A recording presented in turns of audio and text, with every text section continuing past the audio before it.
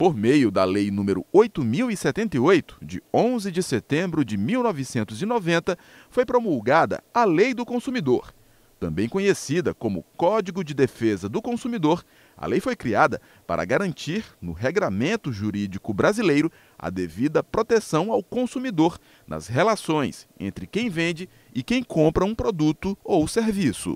O Código de Consumidor trouxe uma proteção maior nessas relações de consumo, né? essa relação entre fornecedor e consumidor, trazendo proteções específicas, como é o caso da proteção à informação, né? o direito à informação, onde o consumidor que adquirir qualquer produto ou serviço, ele vai ter direito à informação, por exemplo, do preço, da validade, do prazo de entrega, das características do produto ou serviço que ele está adquirindo. Há também, por exemplo, é, o direito à qualidade e à segurança na aquisição de produto ou serviço, onde o fornecedor ele se responsabiliza por qualquer dano que seja causado ao consumidor referente a esse fornecimento de serviço ou produto. O advogado afirma que o código representou avanços quando foi promulgado. Porém, as novas relações de consumo, sobretudo no ambiente digital, representam um desafio para as leis. Hoje, o maior desafio é justamente conseguir modernizar esse código do consumidor, de proteção ao consumidor. É tentar adaptar ele à realidade de hoje.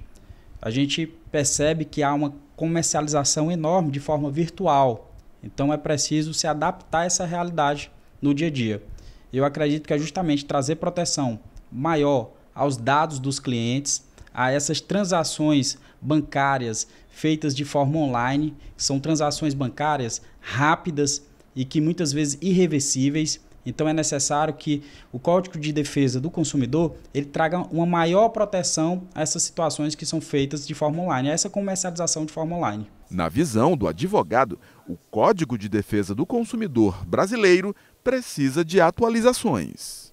É necessário fazer atualizações pontuais, destacando soluções a situações específicas, como é o caso que a gente tem é, de vários PICs que são é, feitos de forma fraudulenta e que a gente tem hoje decisões relacionadas a essas situações e que muitas vezes essas decisões são contrárias entre elas, por muitas vezes tem juiz que entende que aquela situação é, deve ser julgada de forma procedente, ou seja, pró-consumidor, e tem juiz que entende que não deve ser julgada pró-consumidor, que se trata de uma responsabilidade que ocorreu por conta de uma fraude, ou seja, de um terceiro envolvido e que não seria caso de responsabilizar o fornecedor. Então é necessário que se traga uma lei específica para esse caso, para que a gente tenha uma solução diante desses casos concretos relacionados à comercialização de é, é, produtos e serviços de forma virtual.